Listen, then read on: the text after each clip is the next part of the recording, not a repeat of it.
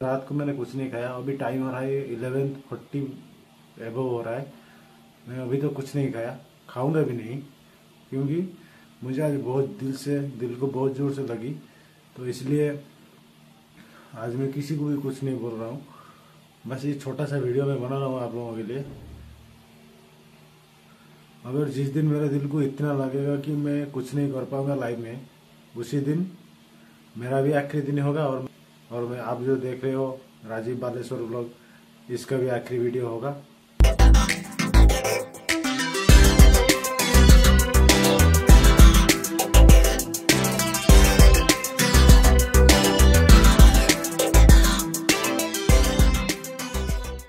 Hi guys good morning welcome back to my new blog फ़िलहाल अभी हो रहा है सुबह को साढ़े तीन। अभी हम जल्दी जल्दी उठे हैं क्योंकि मम्मी जी को लेके एक हॉस्पिटल जाना है बहुत दूर भद्रक। क्योंकि मम्मी जी का आँख का जो प्रॉब्लम है वो दो महीने से ठीक नहीं हो रहा है। एकदम हमारा जो ये पास में जो साई ज्योति हॉस्पिटल है, वहाँ पर हमने दिखाए थे, तीन बार दिखाए, लेकिन ठीक नहीं हो रहा है। और एकदम जलन हो रही है आँखी में, आँख में। और इसलिए मम्मी जी को आज लेके चलना है बहुत दूर। भद्रक हॉस्पिटल। इसलिए हम पहले जाएँगे भाभी जी का मायके और वहाँ से बाबूजी लेके चलेंगे, मम्मी जी को बाबूजी के साथ मैं भी चलूँगा। और इसीलिए मैं जल्दी जल्दी उठ चुका हूँ, साढ़े तीन बजे। बस अभी हम फ्रेश होना है और जल्दी जल्दी निकलना है। चार बजे, साढ़े चार बजे तक निकल जाना है घर से।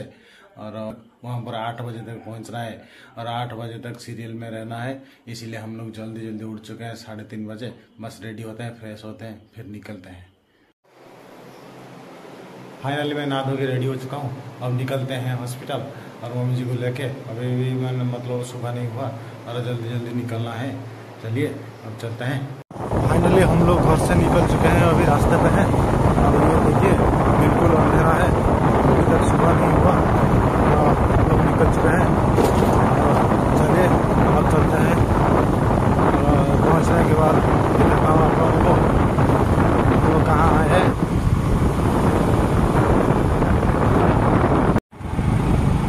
फाइनली हमें सुबह हो चुकी है। बस अभी अभी यहाँ पे सुबह हुई है। और आ, भाई का ससुर ससुराल पहुँचने में और पंद्रह मिनट लगेगा। बस अभी हम रास्ते पे हैं।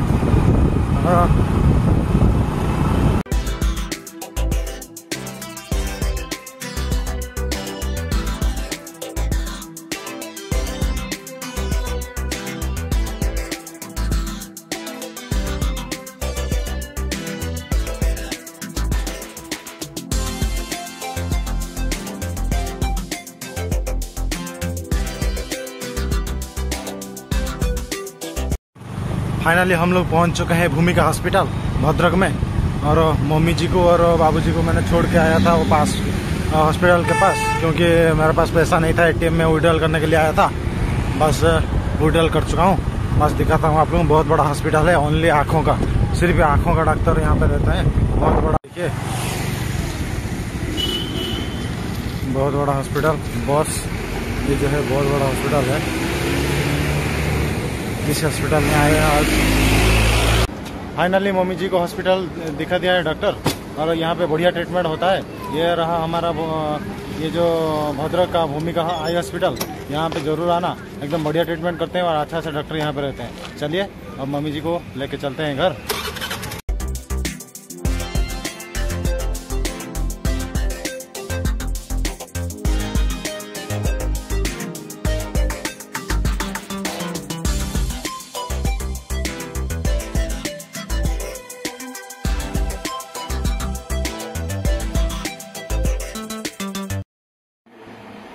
फाइनली घर पहुँच चुके हैं मम्मी जी को लेके।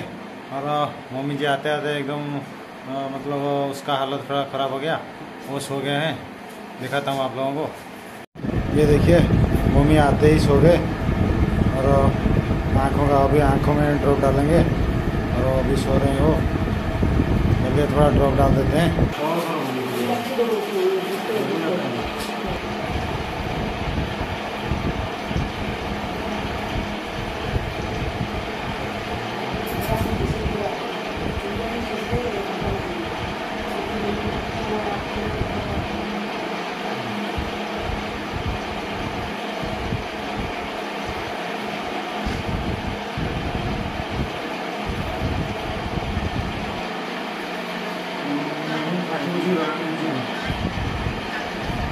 मम्मी का आँख में और ये मेडिसिन हमने डाल दिया है ड्रॉप। ये वाला ड्रॉप डाला है। एकदम, देखिए, एकदम दूध जैसा दूध जैसा ड्रॉप। और डॉक्टर ने बोला था कि ड्रॉप डालने के बाद पाँच मिनट तक आँख बंद करके रखना है।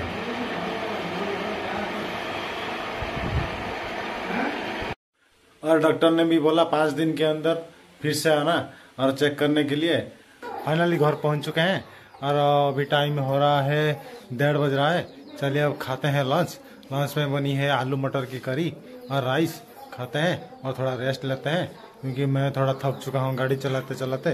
और आज गए थे और 200 जाने और आने का 230 किलोमीटर की ड्राइव था। तो इसलिए मैं थोड़ा थक चुका हूँ। थोड़ा खाते हैं और रेस्ट करते हैं। और ये आलू मटर की करी, शाम का टाइम मेरे को लेके थोड़ा झगड़ा हो गया। क्योंकि मम्मी जी ने हमेशा मुझे ताना देती रहती है कि मैं कुछ नहीं करता, कुछ नहीं। ये जो मैं वीडियो शूट कर रहा हूँ, ये जो मोबाइल मैंने लिया है और कुछ सामान वगैरह मैंने लिया है, मम्मी जी ने कहाँ से लेके पैसा लेके मुझे दिया था और इसके लिए वो मुझे हमेशा ताना देती रहती है कि तो कुछ नहीं करता तो कुछ नहीं करता और तो कर कुछ भी नहीं कर पाएगा, वो हमेशा कहती रहती है। और आज शाम में हमारे घर में झगड़ा हो गया। मानता मैं घर में रहता हूँ। मैं कुछ नहीं भी बोला। मैंने कुछ नहीं बोला। पैसा भी नहीं कमा रहा हूँ। ये भी सही बात है। लेकिन मेरा घर में रहने की वजह यह है कि मेरा तीन भाई है और वो दोनों तो बाहर रहते हैं, बाहर रहते हैं और कभी कभी आते हैं। छः सात महीने के बाद एक एक बार रहता आते हैं। मैं घर में रहता हूँ कि, क्योंकि मेरा माँ बाप का ख्याल रख सकूँ और माँ बाप का सेवा कर सकूँ, इसलिए मैं घर में रहता हूँ कि घर में कोई मुसीबत ना आए, इसलिए मैं घर में रहता हूँ। मैं भी कुछ काम कर सकता हूँ, क्योंकि मैंने भी ग्रेजुएशन किया है, थोड़ा बहुत काम भी मैं कर सकता हूँ।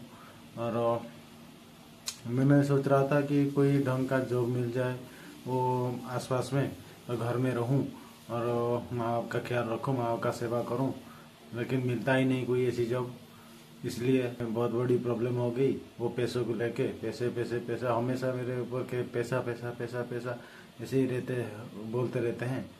तो आज मुझे बहुत मतलब मुझे बहुत बुरा लगा और मैं ये बात भी सह नहीं पा रहा हूँ, क्योंकि आज आज रात को मैंने कुछ नहीं खाया। अभी टाइम हो रहा है इलेवन फोर्टी एबो हो रहा है।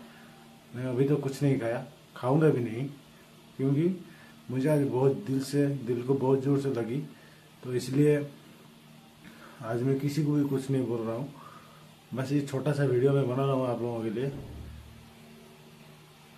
अगर जिस दिन मेरे दिल को इतना लगेगा कि मैं कुछ नहीं कर पाऊँगा लाइफ में, उसी दिन मेरा भी आखिरी दिन होगा और मैं जो देख रहे हो, राजीव बालेश्वर ब्लॉग इसका भी आखिरी वीडियो होगा। चलिए, आज का ब्लॉग को यहीं पे एंड कर देते हैं। फिर मिलते हैं नेक्स्ट ब्लॉग में। लेकिन एक बात हमेशा मैं आप लोगों को कहता रहता हूँ, अपना माँ बाप का हमेशा ख्याल रखना। चलिए बाय